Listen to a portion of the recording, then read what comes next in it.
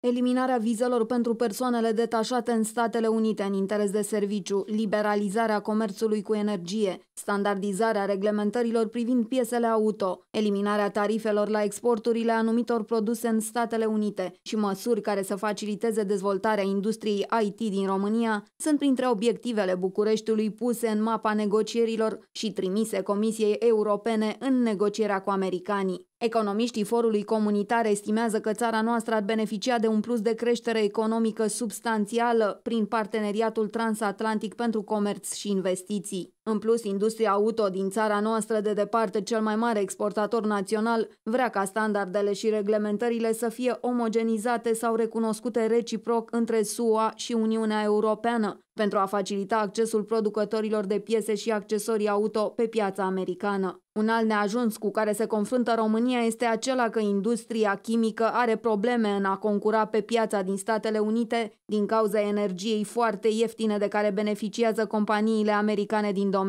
Astfel, România vrea liberalizarea deplină a comerțului cu energie, în special cu gaz lichefiat, ceea ce ar duce și la reechilibrarea prețurilor pe cele două maluri ale Atlanticului.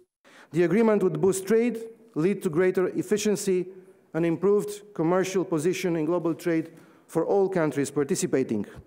It has also the potential to stimulate our bilateral trade and investment ties, including in the energy sector. The crisis in Ukraine reminded us about how important is an energy supply, diverse and sustainable, and the need to enhance the transatlantic cooperation in this field. The Kremlin hates this deal. We must make a decision together. Either we lead on global trade or we will be left on the sidelines. There is no other choice. Now, some people believe that TTIP is an active choice to speed up globalization, to subject Europe to faster globalization. Antibiotice SA, it's a global leader for a number of key medicines, and they already ship its products to the US and around the world. It's a major Romanian success story.